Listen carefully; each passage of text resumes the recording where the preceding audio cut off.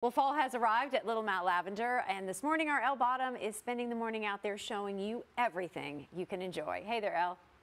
Hey Claudia, we have moved on over to the bath section of Little Mount Lavender, again here with Jason Woodleaf, and I think this is our favorite spot here at Little Mount Lavender. It's a very popular spot. Oh, it's definitely the corner to hang out on, that's for sure. that's probably wildly inappropriate, but moist, this time of year though, after we've abused ourselves in the sun all mm -hmm. summer long, now, when all that moisture comes out of the air in our houses from turning the heat on, get ahead of it. Yeah. With body butter and body oils and things like that. Mm -hmm. And we were talking earlier about the healing balm for the yes. elbows, cuticles, things like that.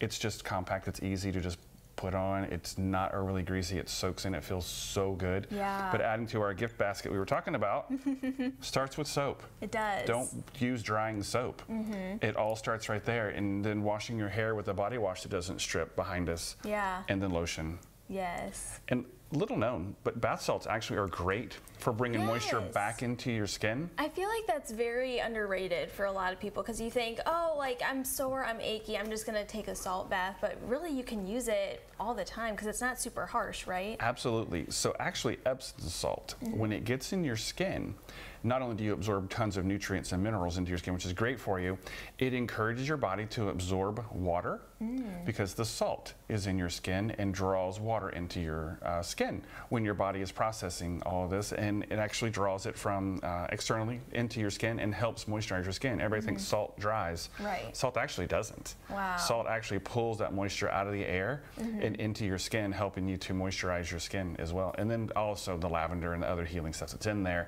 helps on top of that. And then a little bit of lotion afterwards and you feel yes. all slick and smooth and feeling good. Yes, because I know we were talking earlier, my hands get so beat up on, like when November comes around, all my cuticles crack, all my knuckles crack. So the balm, I can just keep in my purse and just yep. swipe it on anytime I need it, Super right? Super easy, just throw it on those hot spots. Mm -hmm. And then lip balm as well from the lips dry out. It's all because we turn the heat on. Yeah. We take all the moisture out of the places that we're in on the inside and the humidity outside goes down when it gets cooler outside. So mm -hmm. all of that normal moisture we would have in the air is gone. Right. That's why a good bath with the salts is great. Yeah. Starting with a good soap, lotion and then using things like balm, lip balm, body oils. To maintain it. Yes. To keep it in Before there. Before you get overly dry, start now. I always miss the mark and my legs start to get dry.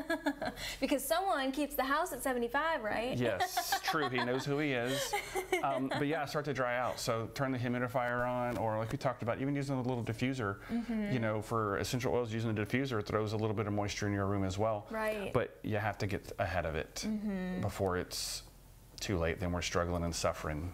Get ahead of it now, start doing your routine, and hopefully avoid that dry. Right, and you have so many different scents. As you can see, this whole wall is just covered with so many, and it seems like all of these are your number one sellers because you just keep them stocked and replenished all the time, right? Yeah, obviously lavender goes number one, and then we have, people will start uh, picking up the coconut right now because mm -hmm. they're mm-hmm. trying to hold on to summer. Right. That'll pick up, we're like, okay, coconut's probably about, no, then it kicks in again. The sweet pea and the lemongrass and all those will kick in for that last hold on to the summer mm -hmm. scents.